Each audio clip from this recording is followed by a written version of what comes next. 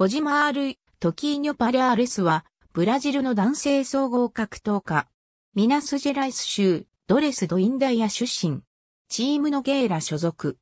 元ゲソフ世界ウェルター級王者。ロシマール・パルハレスとも表記される。ニックネームのトキーニョは、アレッシャンドリ・カカレコによる命名であり、硬い木の切り株を意味する。テイクダウンとヒールホールドを得意とし、ムリーロ・ブスタマンチは BTT の新エースと高く評価している。ブラジルの農園で10人兄弟姉妹の3番目として生まれ、母子家庭の中、食事にも窮するほどの貧しい幼少期を過ごす。8歳でブラジリアン柔術を始めるも、交通費が捻出できず、メジャー大会には参加できなかった。2005年にプロの総合格闘家になる決意をし、ブラジリアントップチームに直談判、ブスタマンチらにその素質が認められて入門が決まった。2006年4月、総合格闘技デビュー。2007年2月、 ADCC2007ブラジル予選 88kg 未満級に出場。準決勝でホムロバッハウにアンクルホールドで一本勝ちするも、負傷によりデウソン・エレーノとの決勝戦を棄権した。2007年、フューリーファイトチャンピオンシップの主催する 83kg 級グランプリに出場。8月4日、フューリー FC4 で行われた1回戦で、フラービオ・モーラにヒールホールドで1本勝ち。続く12月6日、フューリー FC5 の準決勝で、ファビオ・ネガンナシメントにバックからのヒールホールドで1本勝ち、同日に行われた決勝では、ダニエル・アカーシオを相手にインサイドガードからのヒールホールドによる一本勝ちを収め優勝を果たし、賞金4万レアルを獲得した。2008年5月24日、UFC 初参戦となった UFC84 で、アイバン・サラベリーと対戦。グラウンドでバックを取った体勢から腕ひしに十字固めに移行し、一本勝ち。サブミッションをオブザナイトを受賞し、母のために家を買いたいと語った。9月6日、UFC88 では、ダン・ヘンダーソンに0から3の判定負けを喫した。2009年1月17日の UFC93 では、ジェレミー・ホーンを3から0の判定で下したが、8月8日にアレッシオ・サカラとの対戦が予定されていた UFC101 は練習中の負傷により欠場した。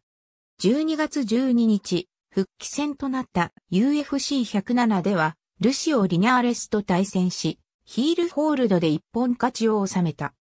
2010年3月27日、UFC111 でトマシュ・ドルバルと対戦し、ドルバルがバランスを崩して倒れたところを見逃さず、ヒールホールドで一本勝ち。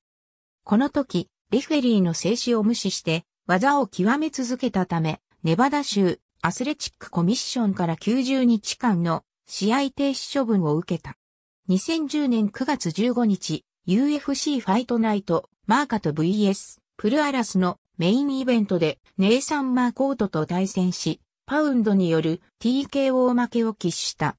2011年9月、アドック2011の 88kg 未満級に出場。1回戦から準決勝まで、ダンショーン、デビッド・アベラン、ハファエル・ロバト・ジュニアからすべてヒールホールドで一本勝ちし、決勝へ進出。決勝戦でアンドレがウバオンにポイント差で敗れ準優勝となる。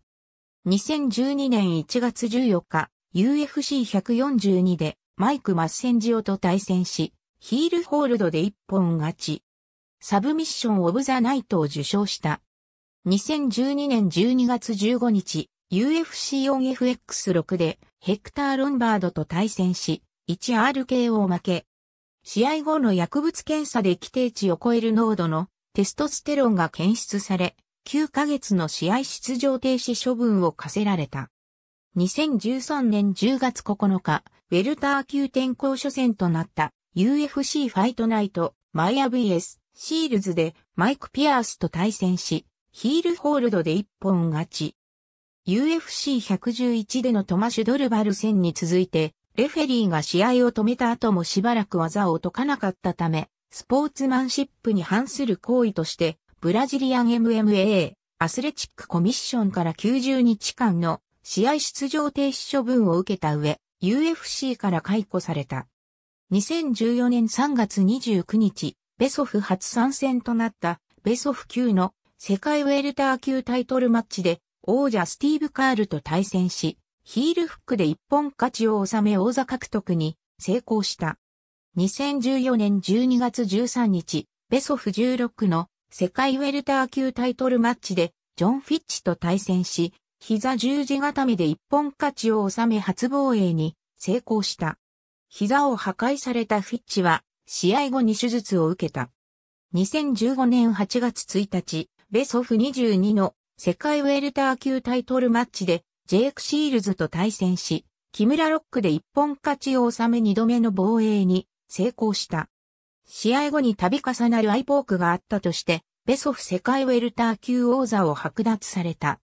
また、ネバダ州アスレチックコミッションの審議対象となった。ありがとうございます。